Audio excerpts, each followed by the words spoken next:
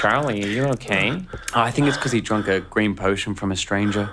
I don't think. Uh, I don't think it's because of the potion I drank. I think it's just because of allergies. That is not allergies, Charlie. Mm, I think we need to call someone.